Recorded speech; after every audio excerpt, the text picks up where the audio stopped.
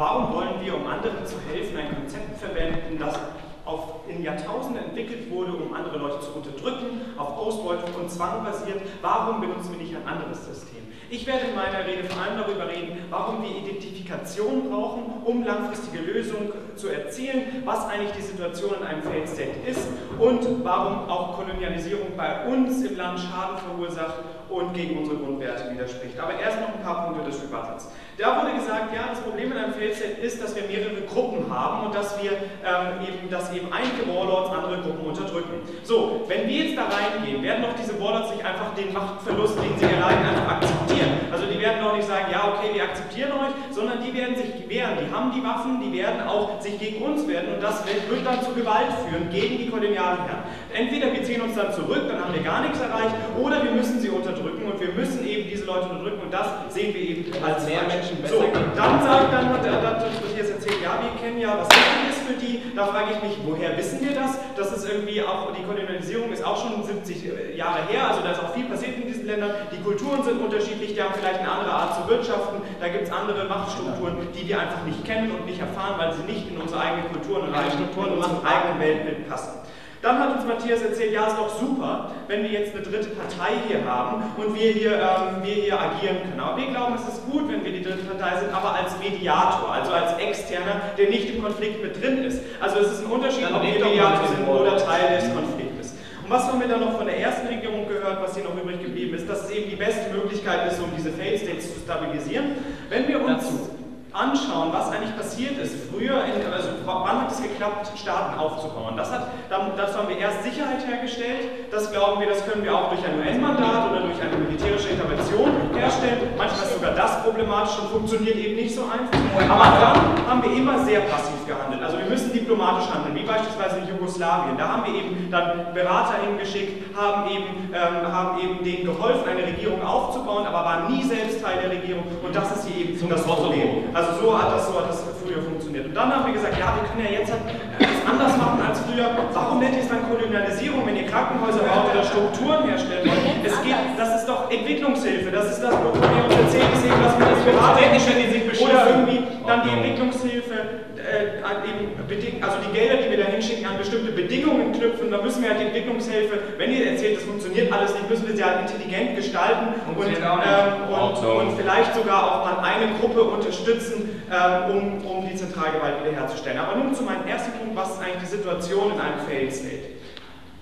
Das Problem in einem Failed State, es gibt kein Gewaltmonopol des Staates. Es gibt keine Zentralgewalt, zum Beispiel sehen wir das zum Beispiel in Somalia oder Afghanistan. Wir haben viele Splittergruppen und kein Stamm oder keine politische Gruppe kann sich durchsetzen und diesen Staat regieren. Also das heißt quasi, warum würden, wenn wir als Externe kommen, warum, wenn, wenn da schon unter sich niemand akzeptiert wird als Herrscher, warum werden wir dann eben akzeptiert? Also das ist eben, das ist irgendwie auch neu, dass eben diese, diese Failed State in sich schon niemanden als Herrscher akzeptiert. Und wir werden dann einfach nur als weitere Bedrohung von bestimmten Gruppen, dass wir denen die Macht wegnehmen, erfunden und das wird zu Terrorismus, Gewalt und Sabotage führen.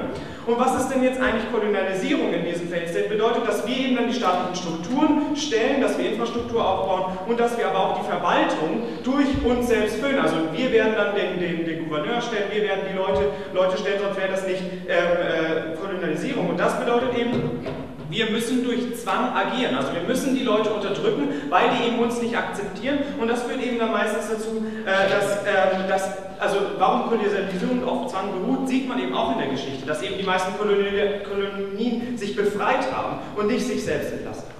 Aber nun eben zum zweiten Punkt, warum müssen wir langfristig, ähm, können wir denen nur helfen, wenn wir die Identifikation mit ihrem Staat herstellen, weil wir sonst eben nichts erreichen.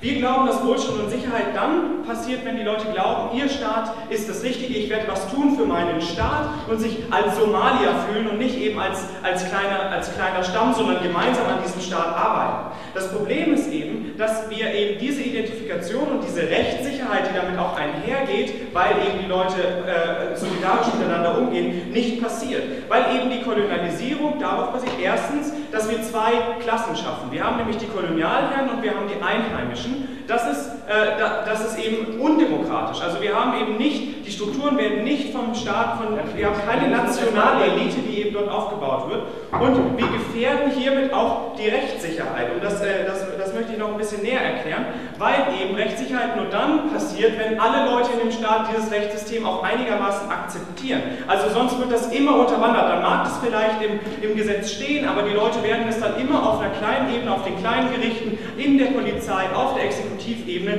eben nicht akzeptieren und nicht durchsetzen. Aber genau diese Rechtssicherheit und dieses, diese nationale Identität, die mit einhergeht, dass man glaubt, dieses System, dieses Rechtssystem ist richtig, ist gut, was, was wir uns selbst ausgedacht haben und nicht von außen aufgedrückt wurde, ist eben notwendig, um langfristiges Wirtschaftswachstum zum Beispiel zu erzeugen. Weil Rechtssicherheit ist wichtig für Investitionen in dem Land und ist eben wichtig, äh, weil eben nur wenn wir, nur wenn man, nur wenn man weiß, dass man aus seiner Investition auch wieder was zurückbekommt, werde ich auch investieren und nur wenn ich weiß, ich kann mich darauf verlassen, dass dieses Rechtssystem von allen getragen wird, werde ich auch etwas tun. So, äh, eine Frage. Ähm, du hast ja schon richtig erkannt, es gibt da keine vernünftigen Strukturen, aber wenn du so über Rechtssicherheit sprichst, dann redest du wie über einen EU-Beitrittskandidaten und nicht über ein Land wie Somalia, wo die Leute tatsächlich von den Warlords erschossen werden. Da müssen wir erstmal Sicherheit für Sicherheit sorgen. Genau, für Sicherheit sorgen wir durch zum Beispiel einen UN-Einsatz oder durch eben militärische Intervention, aber wir, ich habe gerade eben gezeigt, warum wir langfristig diese Rechtssicherheit nicht herstellen können und wenn wir wieder gehen, dann wird dieses System auch wieder zusammenbrechen, weil es von niemandem getragen wird. Aber nun, warum schadet das eigentlich auch uns? Wir sehen eben, dass historische Kolonien vor allem ein Verlustgeschäft waren. Also die wurden nicht akzeptiert durch die Bevölkerung. Das heißt, wir mussten meistens diese Leute unterdrücken.